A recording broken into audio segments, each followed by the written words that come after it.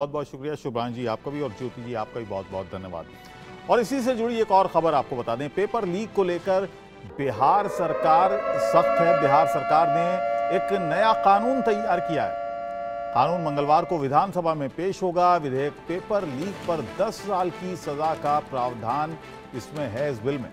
आरोपियों पर non bailable धाराएँ लगेंगी। इस नए कानून के तहत जो मंगलवार को विधानसभा में पेश किया जाएगा। इस पूरा मामला, क्योंकि पटना से कई गिरफ्तारियाँ इस मामले में अब तक हो चुकी हैं।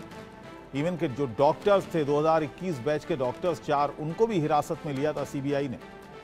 पटना एम्स के डॉक्टर्स तो कई गिरफ्तारियाँ पटना से हुई। अब बिहार सरकार इस पूरे मामले को लेकर काफ़ी सख्त नज़र आ रही है। रितेश मिश्रा मेरे साथ बने हुए हैं। रितेश, क्या खबर है? पूरी। बिल्कुल, देखिए, अब कल जो कानून है, वो पास हो जाएगा विधान बिहार विधानसभा से और इसे तैयार कर दिया गया है।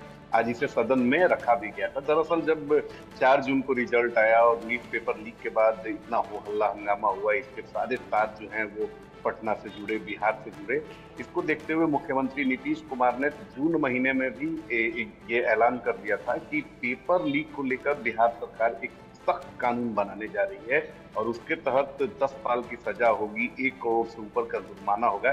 यानी अगर कोई पेपर लीक करेगा तो वो ऐसा नहीं होगा कि बस उसने जुर्म किया और वो छूट जाएगा, बल्कि उसे बड़ा जुर्म, ये जुर्माना भी देना होगा और कड़ी सजा भी उसे भुगतनी पड़ेगी। और देखिए कि कानून को बहुत जल्दी तैयार किया गया है। कई सारे जो पूर्व रिटायर्ड अधिकारी हैं उनको रखा गया था कानून बनाने के लिए लेकर और आज इसे सदन के पटल पर रखा गया और कल मंगलवार को इस कानून को सदन से पास करा दिया जाएगा। ज़ाहिर सी बात है कि बिहार सरकार का स्वागत योग्य कदम है। मुख्यमंत्री नीतीश कुमार खुद पेपर लीक के मामलों को लेकर काफ़ी गंभीर रहे हैं। और आपको याद होगा कि बिहार में कोई भी परीक्षा पहले होती थी बगैर लीक हुए वो आ, आ, उसका अंजाम नहीं हो पाता था चाहे मैट्रिक की परीक्षा हो वो इंटरमीडिएट की परीक्षा हो यूनिवर्सिटी की परीक्षा लेकिन आप देखिए किस तरीके से यहाँ पर कानून को कड़ा किया गया अधिकारियों को सचेत किया गया और अब बिहार में चाहे वो मैट्रिक की परीक्षा हो इंटरमीडिएट की परीक्षा हो कभी भी वैसी तस्वीरें नहीं आती हैं